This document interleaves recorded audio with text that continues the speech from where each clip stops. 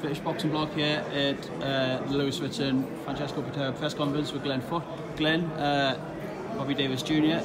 The fight seems to get a lot of people talking at the minute. A real, a real 50-50 fight. Um, what's your thoughts on it?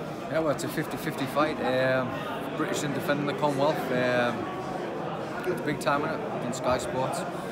We're on the card of Lewis Ritson. Um, just got to get Robbie Davies Jr. out the way, man. Seemed uh, bit of a calmer press conference than some of your past ones. Bit, a bit of respect there because well, he's. It's, it's seven weeks from the fight, and you, you're just uh, in training mode at the minute. And that's all you're thinking about.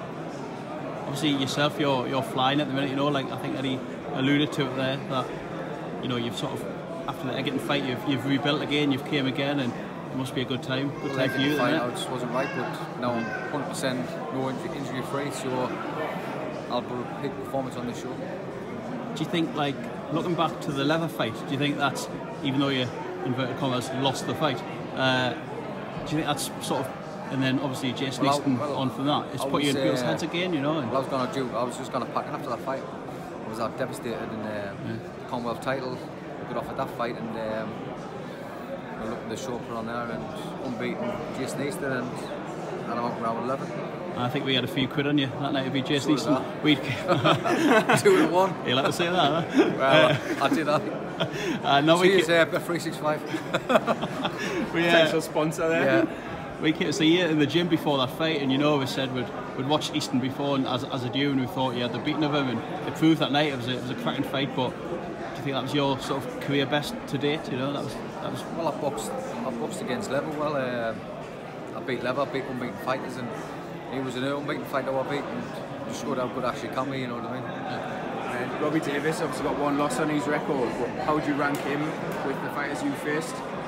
Well, if you have a look at his career, he's been wrapped in cotton wool, he's boxing all journeyman. Um, he's had one step up a Polish, Polish and he got knocked out.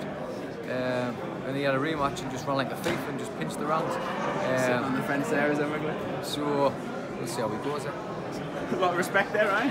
well, at the end of the day, obviously there is respect two between respect. you. At the end of the day, we're two going to be punching each other, and I want to be winning, he wants to be winning, so we'll see how it goes. At the stage you're at now, Glenn, do you take it a fight as a time, or do you still have like ambitions to, so you know?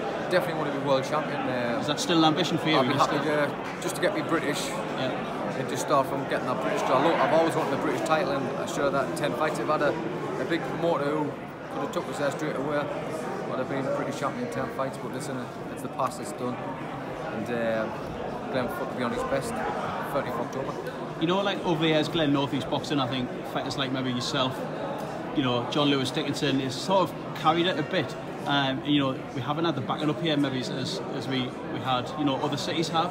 Do you think it's now finally getting the recognition it deserves and, you know, well, there's been some good talent in the northeast. Um, yeah. We look at Travis Dickinson beat George Groves. Uh, it should have been a lot, a lot bigger, but we never had the, the promoter behind us, and uh, now we've got it. We've got to take our chance wherever we can. Just one final message, Glenn. What can people expect from you on October 13? What do they normally expect? Explosion and good entertainment for Glenn Foot. Thank you very much. Cheers, Glenn. Thank Cheers, you. my friends.